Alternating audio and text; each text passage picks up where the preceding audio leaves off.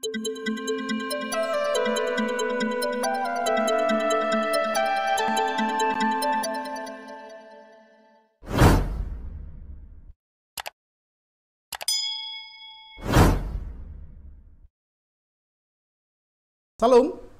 berjumpa lagi dengan saya Effendi Tobing dalam Boker Top Channel. Tidak terasa saudara kita sudah memasuki minggu terakhir tanggal 23 Januari 2022. Puji Tuhan karena karena kemurahan Tuhan semata kita boleh berada di minggu ini dan kita diberi kesempatan untuk bersama-sama membaca dan merenungkan kebenaran firman Tuhan. Sebelum kita membaca dan merenungkan kebenaran firman Tuhan, mari kita berdoa terlebih dahulu kita akan berdoa memohon pimpinan Tuhan. Mari kita berdoa. Bapa kami di surga, kami bersyukur karena pagi hari ini kami boleh mendapat kesempatan meskipun dalam uh, kesempatan secara online untuk mendengarkan firman Tuhan. Kami berdoa dalam nama Yesus supaya Allah Roh Kudus menerangi hati kami sehingga kebenaran firman Tuhan yang akan kami dengar bisa memberkati kami memasuki minggu dan memasuki hari-hari kami ke depan. Berbicara kepada kami Bapa di dalam nama Tuhan Yesus Kristus kami berdoa. Amin. Saudara yang saya kasihi dalam Tuhan Yesus Kristus, pada minggu pagi hari ini kita akan bersama-sama merenungkan kebenaran firman Tuhan dari Kejadian pasal 12 ayat yang pertama sampai dengan ayat yang ketiga. Kejadian 12 ayat pertama sampai dengan ayat yang ketiga demikian firman Tuhan. Berfirmanlah Tuhan kepada Abram, pergilah dari negerimu dan dari sanak saudaramu dan dari rumah bapamu ini ke negeri yang akan kutunjukkan kepadamu. Aku akan membuat engkau menjadi bangsa yang besar dan memberkati engkau serta membuat namamu masyur dan engkau akan menjadi berkat. Aku akan memberkati orang-orang yang memberkati engkau dan mengutuk orang-orang yang mengutuk engkau dan olehmu semua kaum di muka bumi akan mendapat berkat. Saudara yang saya kasih dalam Tuhan Yesus Kristus melalui pembacaan bagian firman Tuhan ini dan tentu juga dengan bagian-bagian lain sesuai dengan konteks Kejadian 12 ayat 1 sampai dengan yang ketiga, kita akan merenungkan firman Tuhan berdasarkan tema mewujudkan harapan menjadi kenyataan. Mewujudkan harapan menjadi kenyataan.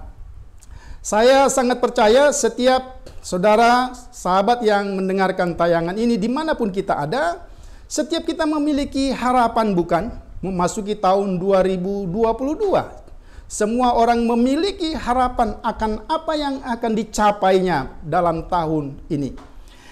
Ada satu filosofi uh, dari orang tua khususnya dari suku Batak yang saya tahu persis karena saya juga uh, orang Batak. Filosofi orang tua itu kira-kira berbunyi anak kokido hamoraun diau. Kalau kita bahasa Indonesia kan kira-kira bahwa Anakkulah yang menjadi kekayaan bagiku. Ini satu filosofi orang tua dari suku Batak yang memiliki harapan yang sangat bahkan terlalu tinggi untuk setiap anak-anak yang dimiliki. Sehingga dengan segala jeripaya, dengan segala upaya, dengan segala kerja keras, setiap orang tua mencoba mewujudkan harapan supaya anak-anak yang dimiliki itu memperoleh satu pendidikan yang tinggi, satu jabatan yang tinggi dan seterusnya.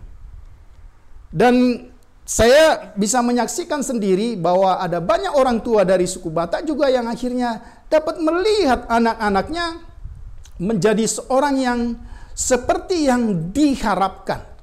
Apa yang diharapkan itu terwujud dalam kenyataannya. Tetapi juga saya harus mengatakan bahwa terlalu banyak juga orang tua yang akhirnya kecewa. Tidak uh, menerima harapan-harapan yang coba diwujudkan dalam hidup anak-anaknya. Sehingga uh, ada banyak istilah yang dikemukakan tetapi apa pun itu filosofi apa pun itu tidak menjadi kenyataan. Saudara, melalui pembacaan firman Tuhan hari ini, mewujudkan harapan menjadi kenyataan, kita akan belajar dari apa yang diharapkan oleh seorang yang bernama Abraham, tentu bersama dengan keluarganya, khususnya dengan istrinya Sarah. Kalau kita memperhatikan pembacaan ini, kita bisa melihat ada harapan, dan harapan itu uh, dimulai dari janji Tuhan seperti yang saya sudah bacakan tadi. Kalau kita melihat, paling tidak kita menemukan ada harapan-harapan yang ingin diwujudkan dalam kenyataan yang sesungguhnya. Yang pertama misalnya kalau kita membaca bagian firman Tuhan itu ayat yang kedua dikatakan Aku akan membuat engkau menjadi bangsa yang besar ada harapan, ada janji Tuhan tentang keturunan. Bahkan bukan hanya sekedar keturunan, menjadi uh, keturunan yang besar, menjadi bangsa yang besar.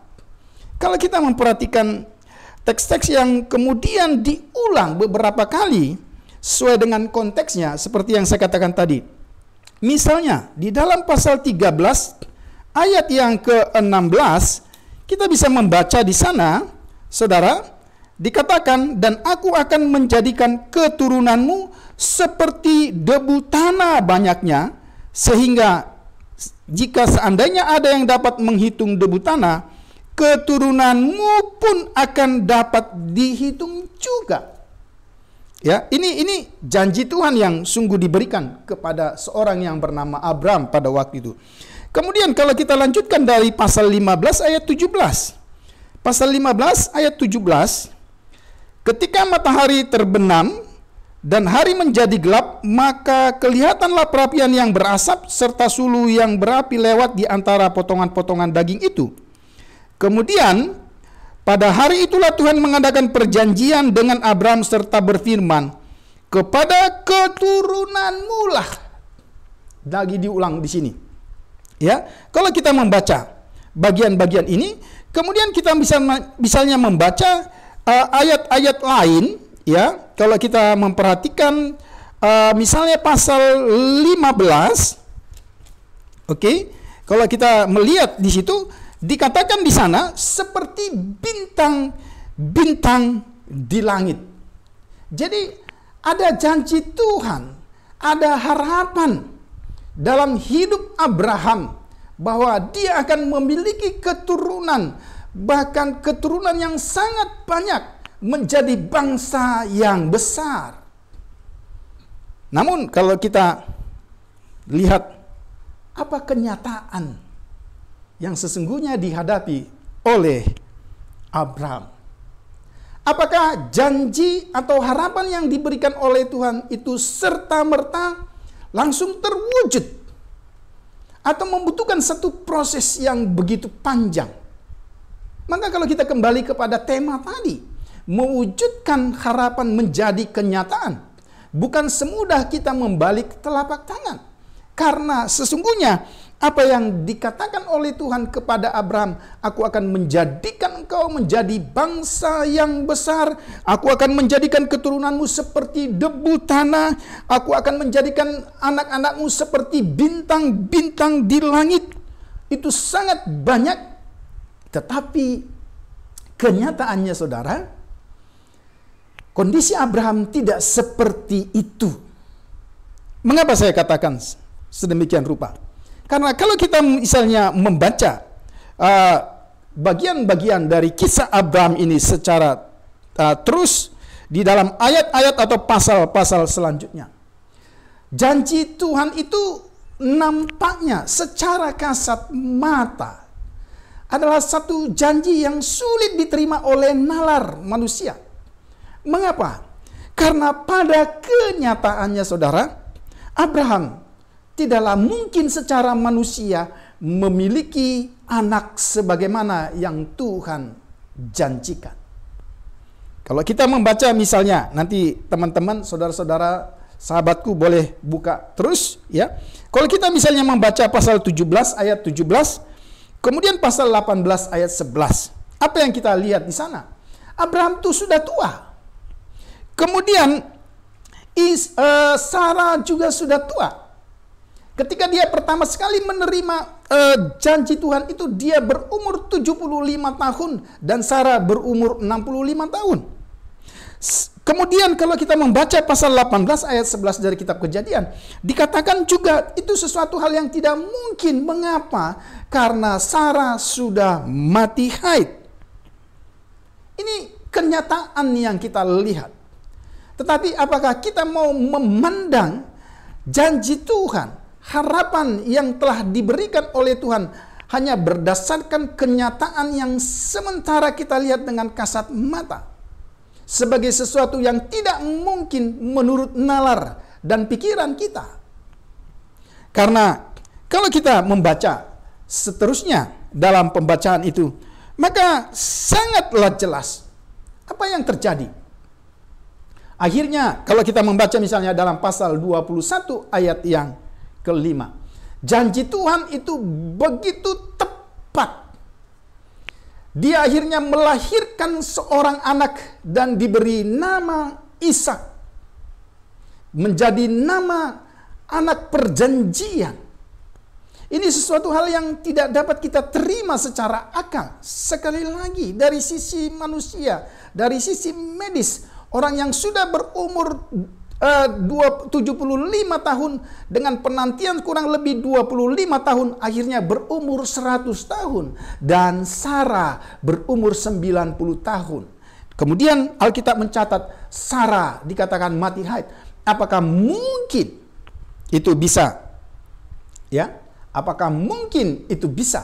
Tetapi kalau kita memperhatikan uh, kalimat-kalimat uh, di dalam bagian itu sangat jelas Apakah ada hal, ada sesuatu yang tidak mungkin dilakukan oleh Allah? Adakah sesuatu yang mustahil dilakukan oleh Allah? Kalau kita memperhatikan, di sini kita melihat ada sementara kita lihat ada gap antara harapan dan kenyataan. Tetapi sebagai orang percaya, antara kenyataan, antara harapan dan kenyataan itu akhirnya terwujud. Harapan-harapan itu bisa terwujud dalam kenyataan hidup kita. Nanti kita akan lihat apa yang menjadi rahasianya. Dan tidak berhenti di situ saja. Janji yang telah diberikan oleh Tuhan dalam segala keberadaan Abraham dan istrinya Sarah. Ternyata setelah anak itu lahir, kalau kita membaca pembacaan selanjutnya, anak yang diberikan, anak satu-satunya, anak yang dikasihinya. Apa yang terjadi kalau kita membaca pembacaan itu secara terus-menerus? Tuhan minta supaya anak yang satu-satunya, yang dikasihi itu untuk dipersembahkan sebagai kurban bagi Allah. Kalau saudara memperhatikan pasal-pasal selanjutnya dari kisah Abraham mempersembahkan anaknya Ishak. Ya, kalau kita memperhatikan misalnya dalam pasal yang uh, ke-21 ayat 8 dan seterusnya. Ini bukan satu ujian yang mudah. Di mana anak yang sedemikian rupa dalam pergumulan selama 25 tahun dalam satu kondisi yang tidak memungkinkan tetapi puji Tuhan, Tuhan melakukan mukjizat. Namun kemudian pencobaan itu, ujian itu belum selesai.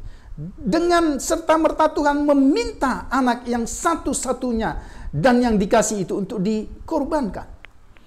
Kalau kita memperhatikan, saya tidak dapat membayangkan ketika perjalanan menuju gunung, ya, di mana dia akan uh, Ishak akan dipersembahkan.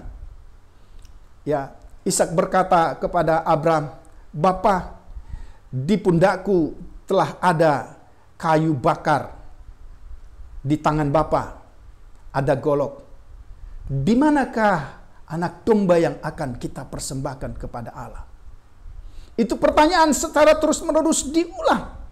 Sebagai orang tua, kira-kira bagaimana hati Abraham hancur? Tetapi kita lihat ini satu proses yang harus dihadapi oleh Abraham. Itu yang pertama yang kita lihat. Kemudian yang kedua dari kejadian pasal 12 ayat 1 sampai 3. Janji yang kedua sebagai harapan yang diberikan oleh Tuhan kepada Abraham yaitu negeri. Negeri. Aku akan memberikan negeri itu. Kalau saudara perhatikan, negeri itu diulang beberapa kali. Pasal 12 ayat 7 misalnya, kalau kita memperhatikan pasal 12 ayat 7. Ketika Tuhan menampakkan diri kepada Abraham dan berfirman, Aku akan memberikan negeri ini kepada keturunanmu. Ya. Kemudian pasal 15 ayat 7 diulang lagi. Berarti ini bukan satu janji kosong. Tapi ini satu janji yang memang akan diberikan kepada Abraham. Negeri. Dan kalau kita mencatat nanti di dalam kitab kitab yang lain, misalnya kalau kita lihat kitab bilangan, kita akan melihat uh, apa klasifikasi dari negeri yang diberikan oleh Tuhan itu bukan hanya sekedar negeri, tetapi sungguh-sungguh negeri yang subur, sungguh negeri yang dapat menjanjikan kehidupan bagi umatnya. Tapi kalau saudara perhatikan, saya mau katakan sekali lagi, apakah negeri itu serta-merta dimiliki oleh Abraham? Karena faktanya, kalau kita mengikuti terus pembacaan ini. Sesudah Tuhan berjanji akan memberikan negeri itu kepada Abraham dan keturunannya untuk dinikmati. Tetapi ayat-ayat selanjutnya, misalnya kalau kita memperhatikan kejadian 12 ayat 10, faktanya, kenyataannya, Abraham justru menjadi seorang pendatang. Seorang yang tidak memiliki hak apa pun atas negeri yang dijanjikan oleh Tuhan itu. Pasal yang ke uh, eh, 23 bukan hanya untuk dapat memiliki negeri itu. Sangat ironis kalau kita hanya lihat dari kacamata uh, jasmani saja. Ketika masa tuanya uh, kemudian Sarah istri yang dikasihinya mati untuk kuburan istri yang sangat dikasihinya pun dia harus beli sepetak tanah supaya istrinya dapat dikuburkan. Secara manusia kita bisa bertanya, di mana negeri yang dijanjikan oleh Tuhan itu kepada Abraham. Artinya sekali lagi, baik janji Tuhan tentang keturunan maupun tentang negeri, itu ada gap kepada kenyataan, kepada fakta yang harusnya mereka terima.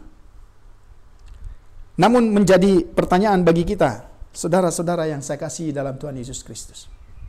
Bagaimana kita mewujudkan bersama dengan Tuhan tentu. Sekali lagi, bagaimana kita bersama-sama dengan Tuhan mewujudkan harapan yang didasarkan pada janji-janji Tuhan itu menjadi kenyataan. Saya pikir sebagai orang percaya, hari-hari ini kita juga memiliki harapan bukan? Kita memiliki harapan yang baik, harapan yang tinggi, harapan bagi diri kita sendiri, harapan bagi istri, harapan bagi suami, harapan bagi anak-anak, harapan dalam pekerjaan dan seterusnya. Dan kita berharap apa yang kita harapkan itu satu saat menjadi kenyataan. Namun saudara, Seringkali kita hidup hanya berada di antara harapan dan kenyataan.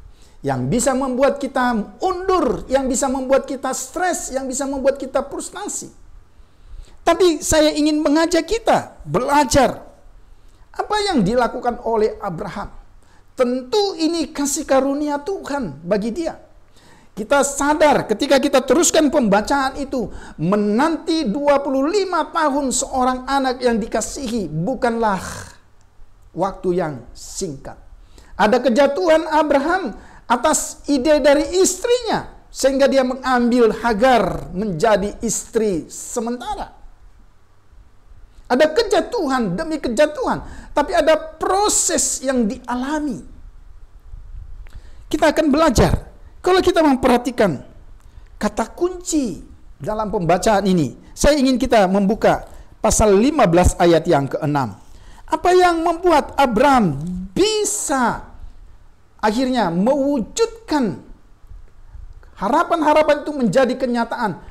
Meskipun tidak pada diri sendiri tetapi dikatakan pada keturunan demi keturunan sampai kepada keturunan keempat. Masuk ke tanah perjanjian itu. Kalau kita membaca pasal 15 ayat 6 tentu ada proses. Namun kita akan belajar.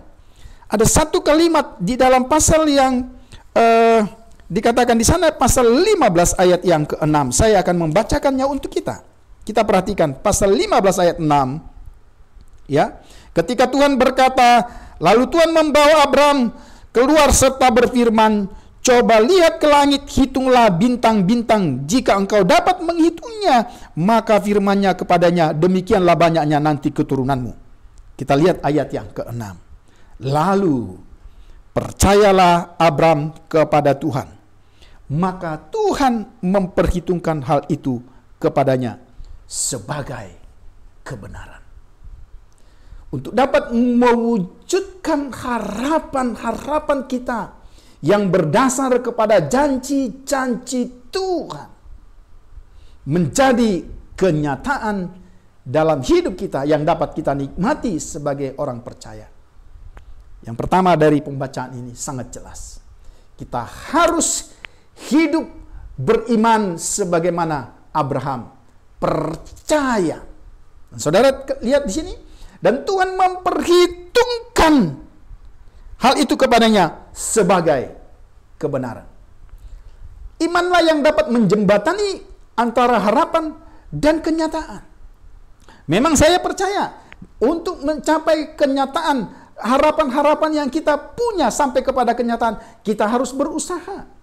Kita harus bekerja, kita harus belajar, kita harus melayani, kita harus melakukan apa yang harus yang kita harapkan menjadi kenyataan. Tapi kita perhatikan dalam pembacaan ini. Adakah kita memiliki iman? Adakah kita bertindak karena kita percaya kepada janji Tuhan? Saya sangat yakin saudara, Ketika Tuhan men, maaf, ketika Abraham mencoba mengkalkulasi, menganalisa semua janji-janji yang disampaikan oleh Tuhan itu berdasarkan logika saja, maka dia akan katakan itu adalah sesuatu hal yang mustahil terjadi. Tetapi kalau kita memperhatikan bagian firman Tuhan ini, sangat jelas tidak ada sesuatu yang mustahil untuk Tuhan lakukan. Yang Tuhan inginkan sebagaimana kepada Abraham. Maka kita belajar, kita beriman. Saya ingin membuka satu bagian firman Tuhan dari kitab Ibrani. Pasal yang ke-11. Di sana kita bisa melihat pahlawan-pahlawan iman dan salah satunya dicatat tentang Abraham. Karena iman Abraham taat ketika ia dipanggil untuk berangkat ke negeri yang akan diterimanya menjadi milik pusakanya. Lalu ia berangkat dengan tidak mengetahui tempat yang ia tuju dan seterusnya. Jadi jelas sekali iman kita, percaya kita yang kemudian dari percaya kita kepada Tuhan kemudian kita bertindak untuk mencapai apa yang kita harapkan bersama dengan Tuhan.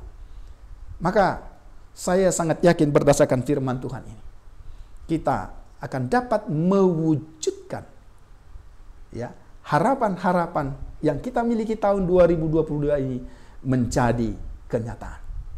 Yang kedua, bagaimana supaya kita dapat mewujudkan harapan menjadi kenyataan? Dari pembacaan tadi jelas dikatakan karena iman Abraham taat. Kalau kita memperhatikan seluruh kisah Abraham, apa pun yang dikatakan oleh Tuhan kepada Abraham, dia tidak akan pernah interupsi Tuhan Maaf Tuhan, kita perlu diskusi. Maaf Tuhan, mungkin Tuhan perlu lebih tahu kondisi saya seperti ini, seperti ini. Bahkan ketika Tuhan berkata, pergilah dari negerimu ke negeri yang kutunjukkan kepadamu. Apa Abraham tahu negeri itu? Jelas sekali tidak. Sebagaimana yang Ibrani 11 ayat yang ke-8. Maka kunci yang kedua, supaya kita dapat mewujudkan harapan kita. Harapan yang berdasarkan janji-janji Tuhan kepada saudara dan saya memasuki tahun 2022 menjadi kenyataan. Maka hiduplah dalam ketaatan. Di dalam ketaatan itu berarti kita harus belajar mengesampingkan segala perhitungan-perhitungan yang hanya bersifat logika. Sebagaimana Abraham. Sekali lagi. Kalau dia hanya berpikir secara logika, maka dia akan bisa menunda. Dia tidak akan pernah sampai ke tempat tujuan. Dia tidak akan pernah memperoleh keturunan demi keturunan. Meskipun saya mau katakan, apa yang dijanjikan Tuhan, dia tidak dapat nikmati secara pribadi. Tetapi kepada keturunan demi keturunan. Dan saudara tahu, sampai saya dan saudara hari ini dikatakan menjadi keturunan dari Abraham, papa orang beriman. Pahala, upah, dampak yang positif karena iman dan ketaatan Abraham kepada janji Tuhan. Meskipun itu nampak di atas rasio kita. Tapi ketika kita percaya dan taat, tidak ada alasan titik, maka kita akan dapat mewujudkan harapan menjadi kenyataan. Biarlah firman Tuhan yang singkat pada minggu pagi hari 23 Januari 2022 ini bisa menjadi berkat. Silakan saudara dan saya, sahabat, silakan mari kita bawa apa yang menjadi harapan kita memasuki tahun 2022 ini. Tapi dari dua hal penting, iman dan ketaatan kita kepada Tuhan. Pasti saya sangat percaya saudara dan saya akan dapat mewujudkan apa pun harapanmu menjadi kenyataan. Tuhan Yesus memberkati. Selamat hari Minggu. Salam.